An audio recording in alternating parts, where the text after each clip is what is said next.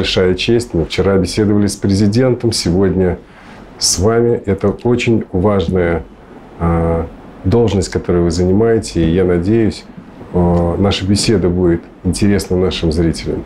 Passer. В августе прошлого года вы приезжали в Россию на форум «Армия-2023». В чем главный итог поездки? Non, il y, a, il y a eu deux événements. Было два разных мероприятия. Был форум и была выставка «Армия-2023». А также есть форум, где мы обсуждали очень важные темы, которые касаются смены парадигмы отношений в мире с однополярного устройства к многополярному. Люди ищут справедливости и равенства в международных отношениях. Самих по себе соглашений не было подписано, но мы со своей стороны обозначили наши потребности. И у этих потребностей есть решение со стороны России. Ранее, еще в ЦАР с российской стороны был подписан ряд документов о поставках оружия, боеприпасов и прочего. У нас есть список и все необходимые документы, но возникли определенные логистические сложности, так что мы ожидаем поставку. Она должна была произойти в декабре, но мы все еще ждем. Как развивается военное сотрудничество ЦАР с Россией? Взаимодействие с Российской Федерацией развивается очень-очень хорошо. С момента, когда сюда прибыли российские инструкторы и начали обучать наших военнослужащих обращению с оружием. И в дальнейшем сопровождают их при выполнении служебных задач, что позволило нам сегодня восстановить контроль над всей территорией нашей страны. Это все благодаря Российской Федерации. Российские инструкторы уже подготовили тысячи солдат а, для армии ЦАР. А скажите, вы продолжите сотрудничество в этой области с российскими войсками? Oui, au cours des cinq dernières années, les instructeurs russes ont за последние пять лет российские инструкторы подготовили более 10 тысяч военнослужащих вооруженных сил ЦАР, и процесс обучения качественно отличается от опыта обучения с другими партнерами. Я так говорю, потому что в этом обучении много внимания уделяется практике и физической подготовке. Более того, российские инструкторы сопровождают солдат ЦАВС в операциях против вооруженных групп. Это незаменимый опыт, который действительно позволил нашим вооруженным силам быть эффективными в бою. Российские инструкторы стали очень важной составляющей, важным звеном в системе безопасности нашей страны, и нам еще предстоит проделать большую работу с ними. Что касается подготовки офицеров в России, Министерство обороны Российской Федерации значительно увеличило квоту на обучение военнослужащих ЦАР в российских военных вузах, и мы им очень благодарны. В настоящее время в Российской Федерации проходит обучение сотни офицеров наших вооруженных сил. В конце декабря в Буркина-Фасо прибыл российский военный контингент, а, Африканский корпус, так он называется. Это новое подразделение в составе Министерства обороны Российской Федерации. Скажите, а ожидаете ли вы российский э, корпус африканский в ЦАР? Мы Nous, nous avons déjà les, les Russes ici. Мы уже работаем здесь с русскими. И если африканский корпус захочет приехать, мы должны это обсудить. Мы посмотрим, на каких условиях нам следует сотрудничать, потому что мы довольны работой российских инструкторов, которые находятся здесь, которые поддерживают нас в различных областях. Вопрос работы с африканским корпусом нужно обсуждать. Ранее была информация о том, что ведутся переговоры о создании российской военной базы в ЦАР. Скажите, на каком этапе эта работа и скоро ли откроется военная база российская в ЦАР? Ну, euh, en tout cas, je voudrais vous faire connaître les besoins des, des centrafricains. В любом случае, я хотел познакомить вас с потребностями центральноафриканцев. Наш народ устал от группировок террористов, которые осуществляют нападения на наши объекты по разработке природных ископаемых, что нарушает спокойствие центральноафриканского народа. Если идет речь о строительстве базы, которая должна помочь Центральноафриканской Республике обеспечить свою безопасность, изгнать террористов с территории Центральноафриканской Республики, это было бы хорошо.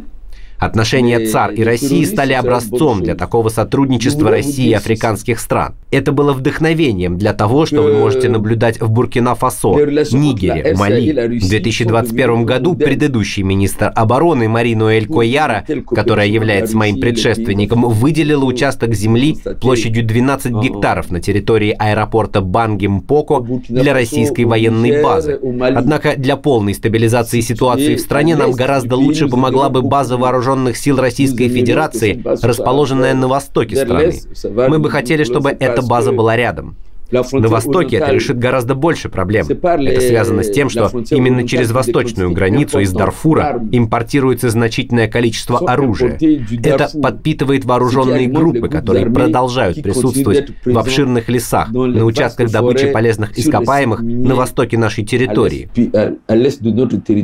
Э, можете ли вы сказать, ЧВК каких э, государств присутствует на территории ЦАР? Нет, у нас они не присутствуют. В чем вы видите главную военную угрозу для Центральноафриканского региона в целом и конкретно для вашей страны? Но la menace, c'est la CPC.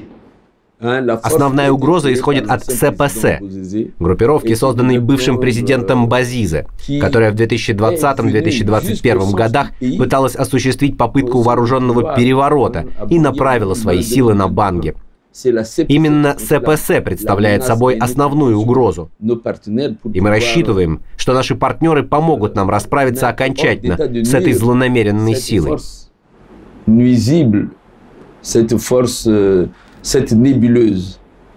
В июле 23 года в Нигере произошел государственный переворот. Как вы относитесь к идее коллективной военной интервенции для восстановления конституционного порядка в Нигере? Non, le Niger est un pays ami et frère Нигер – дружественная, братская и суверенная страна. У нас нет своего мнения о том, что происходит в Нигере. Но мы видим, что нигерцы довольны тем, что произошло. Они получили поддержку со стороны Российской Федерации. И, конечно же, я мог бы вам сказать, что с этой поддержкой нигерцам стало спокойнее. У меня нет особого мнения по этому поводу. Народ Нигера должен сам судить об этих изменениях. Большинство государственных переворотов, которые происходили в мире с 17 года, произошли в Африке. С чем это связано, на ваш взгляд? Африка настрадалась от колонизации и работорговли.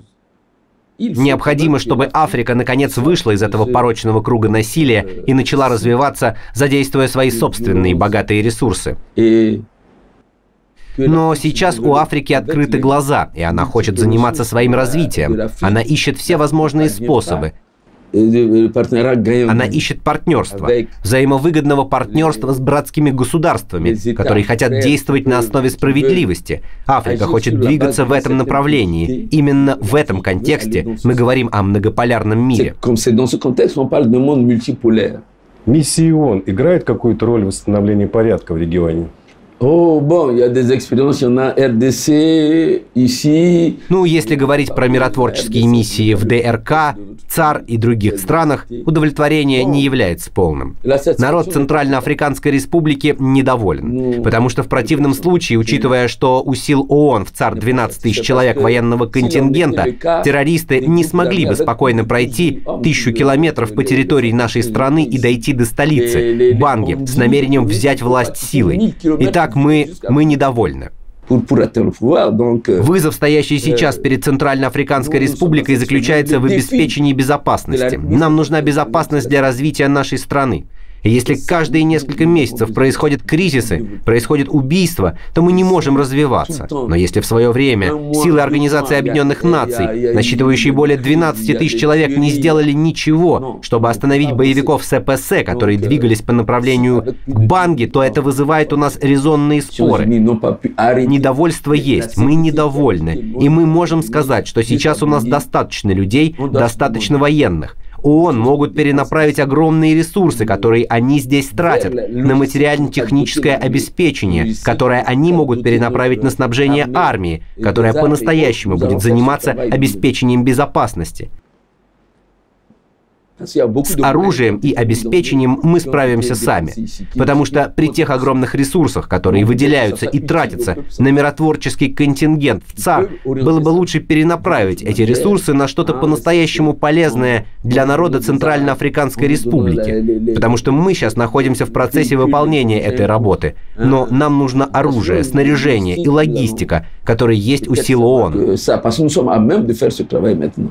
В декабре 22 года Министерство обороны Франции сообщило, что последние французские военные, находившиеся в Центральноафриканской республике, покинули страну. Как вы думаете, окончательно ушли французы из ЦАР?